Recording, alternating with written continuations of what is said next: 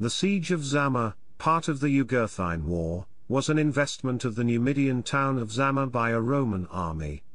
The Romans were commanded by Quintus Caecilius Metellus, one of the consuls of 109 BC, while the Numidians were under the overall command of Jugurtha, the king of Numidia.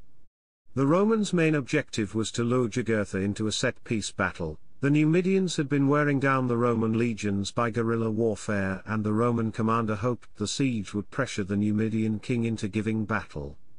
Jugurtha did not let himself be goaded into a pitched battle and kept up his opportune attacks while the defenders of Zama kept the Romans at bay.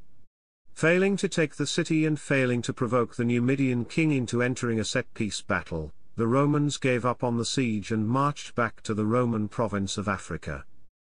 Chapter 1 Background King Masinissa of Numidia, who was a steadfast ally of Rome, died in 149, he was succeeded by his son Micipsa, who ruled from 149 to 118 BC. At the time of his death Micipsa had three potential heirs, his two sons, Adherbal and Hiempsal, and an illegitimate nephew, Jugurtha. Jugurtha had fought under Scipio Aemilianus at the siege of Numantia, where he had formed a friendship with Roman aristocrats and learned about Roman society and military tactics. Micipsa, worried that after his death Jugurtha would usurp the kingdom from his own somewhat less able sons, adopted him, and bequeathed the kingship jointly to his two sons and Jugurtha. After Micipsa's death the three kings fell out, and ultimately agreed between themselves to divide their inheritance into three separate kingdoms. When they were unable to agree on the terms of the division Jugurtha declared open war on his cousins. Hiempsal, the younger and braver of the brothers, was assassinated by Jugurtha's agents. Jugurtha gathered an army and marched against Adherbal, who fled to Rome. There he appealed to the Roman Senate for arbitration. Although the Senate were securities for Micipsa's will, they now allowed themselves to be bribed by Jugurtha into overlooking his crimes, and organized a commission, led by the ex-consul Lucius Opimius, to fairly divide Numidia between the remaining contestants in 116 BC. Jugurtha bribed the Roman officials in the commission and was allotted the more fertile and populous western half of Numidia, while Adherbal received the east. Powerless Adherbal accepted and peace was made. Shortly after, in 113 BC, Jugurtha again declared war on his brother, and defeated him, forcing him to retreat into Cirta, Adherbal's capital. Adherbal held out for some months, aided by a large number of Romans and Italians who had settled in Africa for commercial purposes. From inside his siege lines, Adherbal appealed again to Rome, and the Senate dispatched a message to Jugurtha to desist.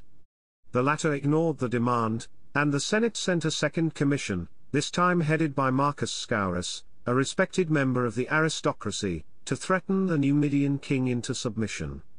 The king, pretending to be open to discussion, protracted negotiations with Scaurus long enough for Cirta to run out of provisions and hope of relief. When Scaurus left without having forced Jugurtha to a commitment, Adherbal surrendered. Jugurtha promptly had him executed, along with the Romans who had joined in the defense of Cirta. But the deaths of Roman citizens caused an immediate furore among the commoners at home, and the Senate, threatened by the popular tribune Gaius Memmius, finally declared war on Jugurtha in 111 BC. In 111 BC the consul Lucius Calpurnius Bestia commanded a Roman army against Jugurtha, but he allowed himself to be bribed. The following year the consul Spurius Postumius Albinus succeeded the command against the Numidian king, but he let himself be bribed too. Spurius's brother, Aulus Postumius Albinus, allowed Jugurtha to lure him into the desolate wilds of the Sahara, where the cunning Numidian king, who had reportedly bribed Roman officers to facilitate his attack, was able to catch the Romans at a disadvantage. Half the Roman army were killed, and the survivors were forced to pass under the yoke in a disgraceful symbolism of surrender. The Roman Senate, however, when it heard of this capitulation, refused to honor the conditions and continued the war. After Postumius' defeat, the Senate finally shook itself from its lethargy, appointing as commander in Africa the plebeian noble Quintus Caecilius Metellus, who had a reputation for integrity and courage. Metellus proved the soundness of his judgment by selecting as officers for the campaign men of ability rather than of rank, men like Gaius Marius and Publius Rutilius Rufus. Metellus arrived in Africa as consul in 109 BC and dedicated several months to a serious disciplinary reform of his demoralized forces. In spring of 109 BC, Metellus led his reorganized army into Numidia, Jugurtha was alarmed and attempted negotiation, but Metellus prevaricated, and, without granting Jugurtha terms, he conspired with Jugurtha's envoys to capture Jugurtha, and deliver him to the Romans. The crafty Jugurtha, guessing Metellus' intentions, broke up negotiation and retreated. Metellus followed and crossed the mountains into the desert, advancing to the river Muthul where the Numidians ambushed them. Through the capable leadership of Metellus, Marius, and Rutilius Rufus, the Romans were able to escape the ambush at Muthul with a drawn battle. Seeing that he could not defeat the Romans in a pitched battle Jugurtha changed his strategy, he began employing guerrilla tactics. Jugurtha led an elite cavalry corps to shadow the Romans and harry them whenever it was convenient and opportune. He even resorted to poisoning springs and wasting livestock where he expected the Romans to march. This eventually started to weigh heavily on the legions and their commanders who could not get to grips with their opponents. Metellus first resorted to ravaging the Numidian countryside hoping to force Jugurtha in the open and into a pitched battle. When it became apparent that this strategy would not yield the right results, Metellus changed strategy again. He hoped he could lure Jugurtha into a set-piece battle by besieging one of Numidia's cities. Metellus gathered his army, and started marching towards Zama. Jugurtha had somehow learned about the Roman plans and reinforced the city and prepared the city to withstand a siege. Chapter 2 Prelude When Metellus arrived at the city he began his siege, he sent one of his legates, Gaius Marius, to commandeer provisions in nearby Sicca. After requisitioning supplies Marius had to fight his way out of Sicca after Jugurtha tried to ambush him while leaving the city. Chapter 3 Siege While Marius was getting additional provisions, Metellus prepared to assault Zama. Upon the return of Marius, Metellus launched his first attack on the city walls. While slingers laid down covering fire the legionaries attempted to scale the walls with ladders. As the Romans were trying to get over the walls, Jugurtha attacked the Romans' camp almost taking it.